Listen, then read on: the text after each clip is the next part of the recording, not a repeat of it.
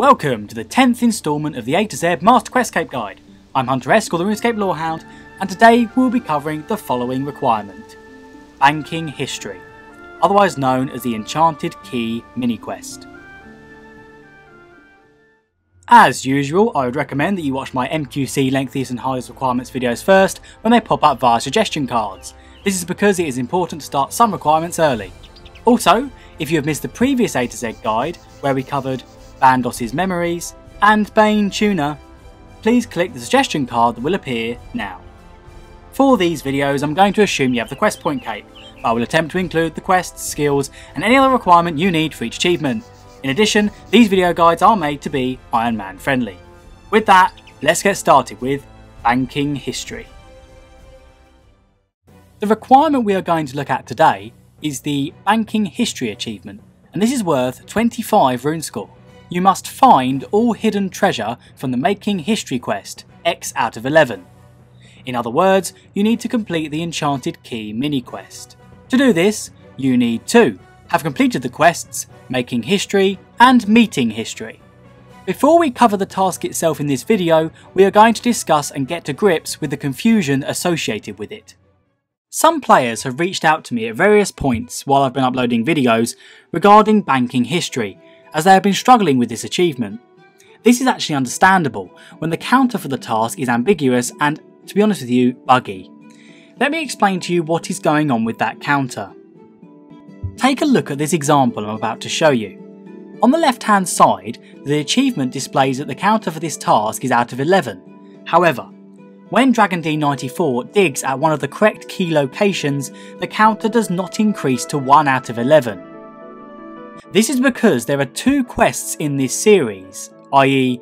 Making History and Meeting History, and consequently, there are two parts to this mini quest, with the first 11 treasures being accessible after the end of Making History, and the second set of 11 treasures only being accessible after the end of the Meeting History quest. For some reason, the counter is only counting the treasures that are a part of the second set of treasures which are unlocked after meeting history, not those from after making history. So essentially, you have to find all 11 treasures from making history first to unlock the 11 treasures from meeting history. Basically, the requirement counter should be out of 22 and not 11. This is most likely why your task isn't updating as you go to the correct locations and dig there. You are most probably doing the correct thing, but the counter may have made you doubt yourself and confused you. I do hope that makes some sense. Even the requirements description that I read to you earlier, find all hidden treasure from the Making History quest X out of 11, is misleading. And this is something that Jagex needs to fix, as there are 22 treasures for this achievement in total, not 11. So, on with the task. Because of this confusion, in this guide I'm going to include the number for each location out of 22. If you follow this guide from beginning to end, you should have no problems. However, please be aware that after the first location of the first 11 treasures, the next 10 treasure sites for the first half of this achievement will be in a random order for each player. This does mean that if I visit a location in this video and digging at that location isn't working for you, you need to note down where I went and try the next location until you find where your key is taking you. You can then revisit that location that didn't work later on. Due to the random nature of 10 of the Making History post-quest treasures, it is important, I feel, for you to understand how the key works, as the help I can provide is somewhat limited because of this randomness. I can show you the 10 randomised locations, but I cannot determine which order they will be given to you in. So, the key works similarly to a hot or cold game. As you get closer to the treasure spot, the key will get warmer until it is steaming hot. To see how hot or cold your key is, simply click it. As far as I can tell and from my research, the key's temperature gauges are Number 1. Very cold. This means you are a long way away from the location. I don't believe there is a freezing indicator, but I can't be 100% sure. If there is, freezing would mean you are miles and miles away and should teleport to the other side of RuneScape. 2. Cold. You are far away from the treasure location. You are not so far for it to be very cold, but you're certainly not close. 3. The key is warm. You are close-ish to the treasure location and likely getting closer to the correct area. 4. The key is hot. You aren't far away from the treasure spot. 5. Very hot. You are homing in on the spot. I can't give exact number of steps, but you're very close. 6. Ouch, burning hot. You are a few steps away from the location. 7. The key is steaming. You are standing on the treasure. Dig here. The key will also tell you whether it is warmer or colder than the last time you clicked it. If it is colder, you are heading the wrong way and should try a different direction. If it is warmer, you are heading the correct way and should continue in that direction. During this video, you should be able to tell whether you are following the correct location thanks to these different temperature gauges. For example, if you're following a certain location and your key is still displaying that it is cold when the player in my video is standing on top of the treasure and their key is steaming, you know you've got the incorrect spot and can then proceed to try the next location. Bear in mind that you will need to revisit the spot you skipped when your key's location indicates that spot. So after each location, you may want to click your key to gauge how far the next location will be away from you, as well as take notes of the locations you have dug at. This video will have chapters, as they usually do, which should allow ease of access to every location covered. Sorry to rattle on for a while there, I just think it's important that you understand the bugginess and the confusion surrounding this achievement. So, let's get started. Grab a spade, teleport runes, and your enchanted key. It can be reclaimed from Jorral after meeting History, who can be found at the outpost south of the Tree Gnome stronghold if you've destroyed it. The outpost is here on the map, and a replacement should be free.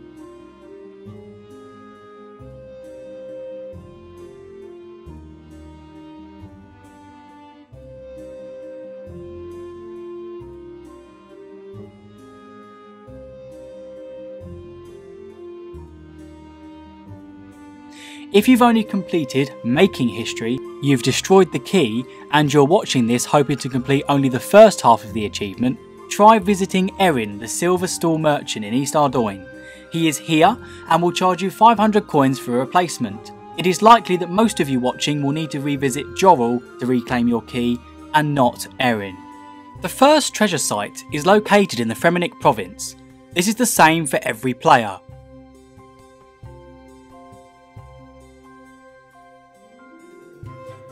Here is the rough location to dig at. You may have to use your key to determine the exact location as I don't have one anymore. Remember, do not be alarmed if your counter doesn't update for these first 11 treasures.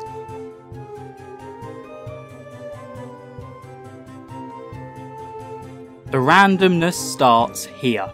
Get yourself to a fairy ring for the next location and teleport to the fairy ring north of Mudskipper Point by entering code A for Alpha, I for India and Q for Quebec. Run north and follow your key to this location. The location to dig is here. Remember, if this location isn't working for you, move on to the next one and come back to this one later. Teleport to the Grand Exchange in Varrock and test your key. If it is burning hot, Run into the Grand Exchange and find the location, which is a little southwest of the main tent. The key should be steaming right about here. Dig down to find your treasure. Teleport to the Falador lodestone and run northeast following the temperature of your key. It should lead you to a spot west of the body altar Dig here for the next set of treasure. Use the Eagle's Peak lodestone and run south, and then slightly east towards the Charm Sprite Hunter Arena.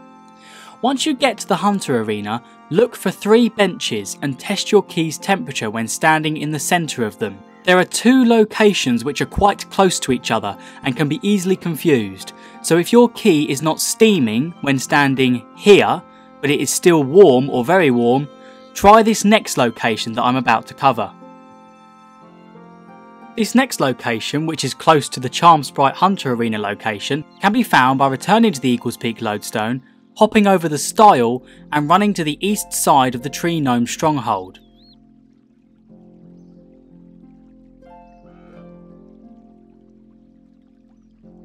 The treasure spot is slightly west of the Agility Arena.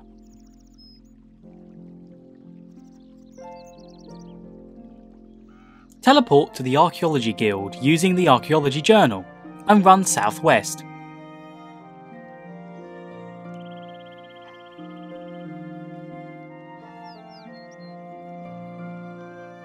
If your key is set to this location, it will bring you to this spot, just east of a musician. If you have one, use a Clan Vexillum to teleport to the clan camp south of Falador. If not, use a Falador teleport and run south through the city. This treasure location is just southeast of the clan notice board. Here, to be precise.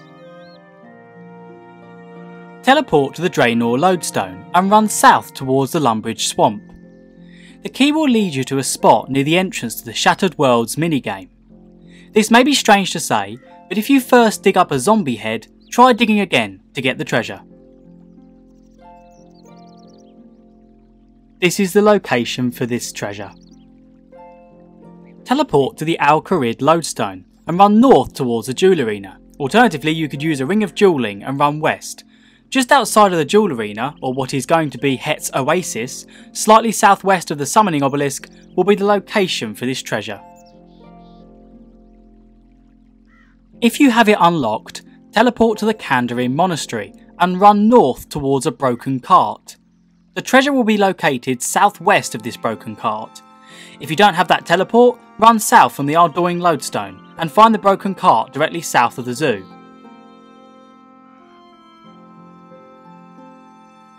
The treasure is here. Thankfully, now the requirement becomes a little bit easier, as each location is in the same order for every player for this second set of 11 treasures. If this next location that I'm going to cover doesn't work for you, you need to go back to the previous 11 locations because you may be missing one of them. Without the first half of the mini quest complete, and by that I mean the 11 making history treasures, I don't think you'll be able to advance to the easier second half or the 11 meeting history treasures. So just make sure you've got them all. Feel the enchanted key to roll it over into the next 11 locations automatically. Remember, you will still need your key and a spade in your inventory, and teleport runes will be useful. From this next treasure, your counter may start to update. Teleport to the Eagle's Peak Lodestone and jump over the stile to the southeast, entering the Tree Gnome stronghold. Find the Gnome Ball Arena.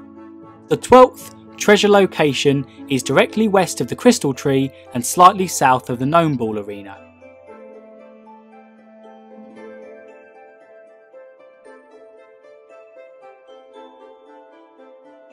The precise location is here. Next, teleport to the Al Kharid lodestone and run south towards Shantay's Pass.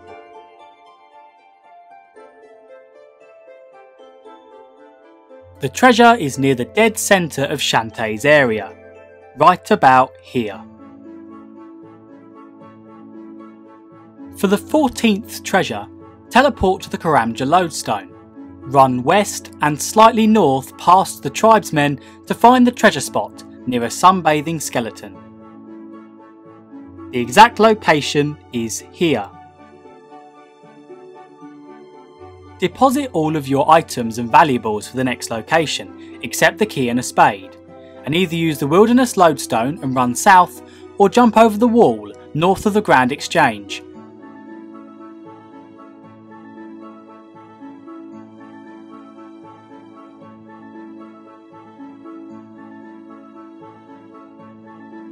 Go just north of this beacon to find the treasure. Use the key to help guide you to the exact location, which is here.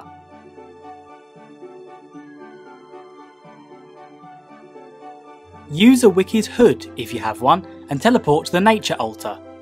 Slightly northwest of this is a small mine north of a summoning obelisk where you will find the next treasure location you can use the fairy ring code C for Charlie, K for Kilo and R for Romeo and run northeast instead if you wish. Here is the exact location to dig at. Teleport to the Oo'glog lodestone and run north for the 17th treasure. Next to the hunting expert's hut you will find the treasure. Here. home teleport to the Al Kharid Lodestone and run south towards Shantay's Pass.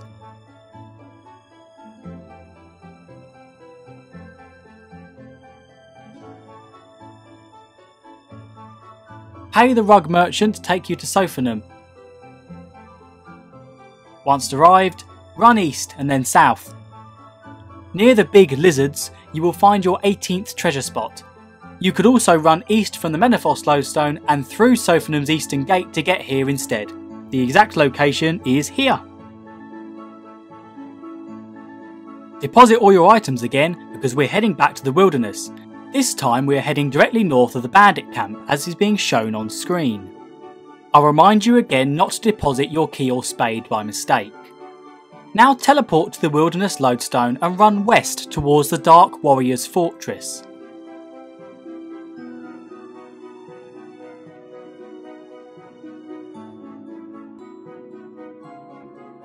Once you've ran past the fortress, run north towards the Wilderness Bandit Camp. Your treasure location will be located to the east of one of the Wilderness's teleport obelisks. Here. Teleport out of the wilderness, but don't get out any valuables because you'll be returning there in a minute. Instead, get your Ring of Kinship out the bank and teleport to Daemonheim. The treasure location is in the wilderness, but more easily accessed from Daemonheim. The spot is around here on the map. To get there, run southwest and past the Wilderness Guard. Carry on west and once around the body of water, run north.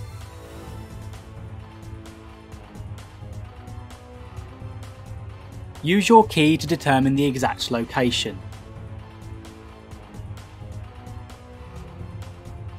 I believe it to be here.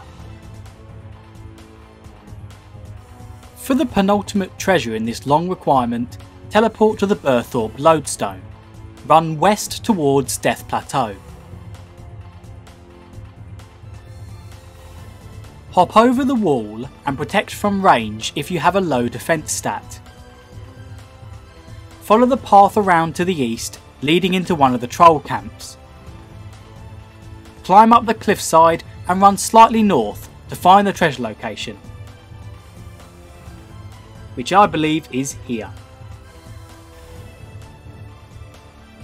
Our final location is in the wilderness, so deposit all valuables again and teleport to the Ardougne lodestone.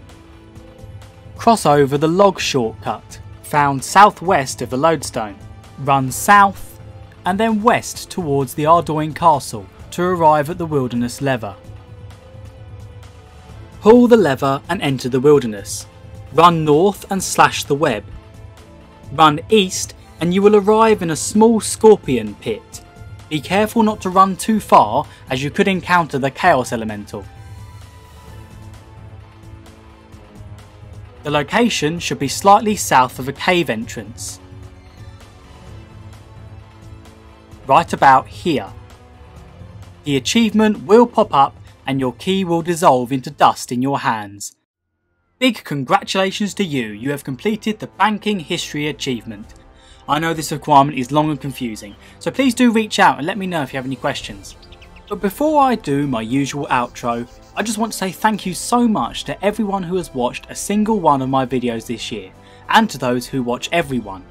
Together, we have accumulated over 57,000 total watch minutes and 11,000 views, and I couldn't be more thankful for all of your support this year. Anyway, Thank you so much for watching this video and I hope it helped you.